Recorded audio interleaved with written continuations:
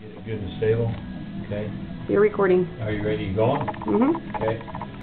Okay, doke. This, uh, to adjust this thing for throw and speed, this is the adjustment that comes down and contacts this plate. That's how you adjust the throw of the thing, and so this is, this is, uh, and then it has a lock nut here, so you can lock it.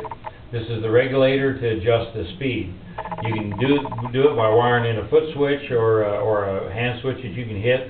It does the same thing as this actuates this, goes down, and then it hits the plate and turns itself off.